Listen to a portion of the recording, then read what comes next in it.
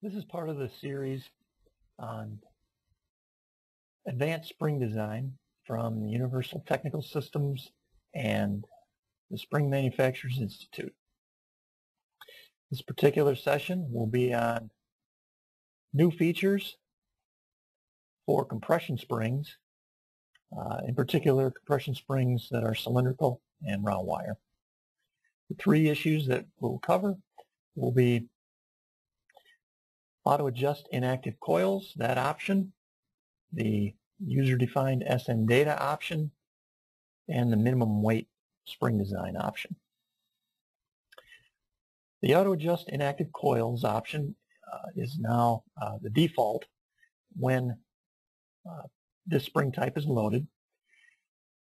What it has to do with is uh, the fact that for springs that have a small number of active coils, if you have uh, closed ends where uh, some of the coils are inactive at the ends, those coils will become partially active. Uh, some of those coils become partially active uh, under loading. And so we do uh, account for that, and it, it's based on research, and it should make your designs more accurate. So for example, if we have this set uh, we have it turned on and we input 3 for active coils. ASD tells us the total coils will be uh, 4.8, uh, repeating 8. Uh, we also get a message, end coils partially active.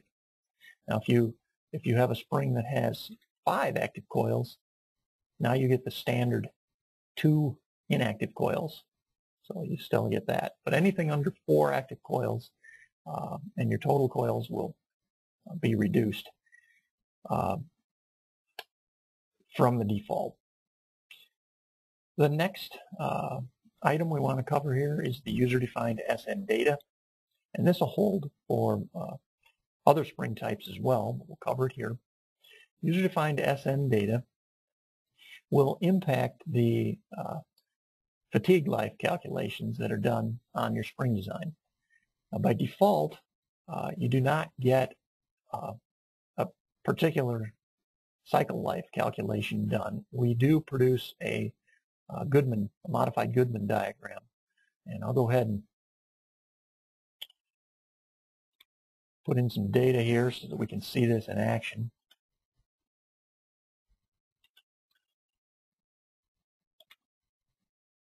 Uh, we'll load this between 13 and 26. So we get a complete design. Take a look at the fatigue strength diagram. Of course, the lines here are for 10 million, 1 million, and 100,000 cycles. And because our design point is well below the 10 million line, that means we have uh, an expectation of more than 10 million cycles for this spring. And this is uh, based on the data that is available from the uh, SAE paper referenced in the SMI Handbook of uh, Spring Design. It's the uh, SAE HS 795 uh, Spring Design paper. If we go ahead and click user-defined SN data now, we get a caution message indicating that uh, user-defined fatigue data will be applied. And now we actually edit our table to indicate what we would like to use. And if we say that at uh, uh, 100,000 cycles, we believe there is 25% of the minimum tensile strength. And at a million cycles, there is 19% of minimum tensile strength. And for 10 million cycles, we only want to allow for 12% of the minimum tensile strength. And when we solve, our fatigue strength diagram has been updated. And the uh, endpoints of these fatigue lines here correspond to the values in the table. So this value here is at the 12%. And 19, well, that corresponds to this value. And the 25%, that's right here. In modifying that, notice how our uh, design stress point is now uh, between the 1 million and 10 million cycle lines. We also see that uh, an estimated cycle life value is now displayed here uh, on the form. So you actually get a, a value there now. And that will appear whenever you have this box checked. If you don't uh, check this box, then the estimated cycle life value will not show here. You'll only have the Goodman plot. Uh, the last topic we're going to cover in this session will be the minimum weight design. And I'm going to go ahead and restart.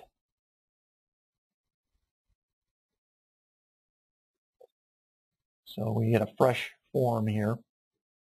Minimum weight design does several things. It makes some assumptions. It pegs the uh, percent of minimum tensile strength at solid to 45%. It also pegs the uh, cycle life at 10 million cycles. So uh, those assumptions are made. It also offers, uh, as a suggestion, these four inputs. However, there are other combinations that will work, as we'll see. So just to run an example here, let's say that we have a coil with one inch diameter loaded uh, from 7 pounds to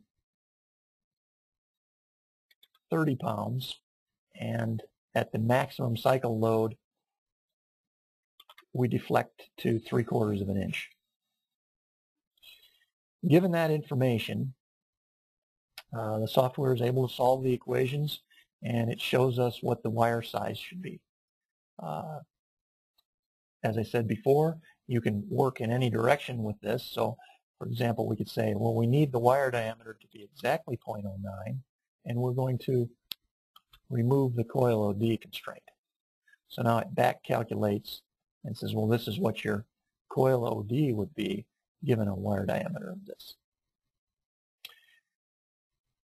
That concludes this session.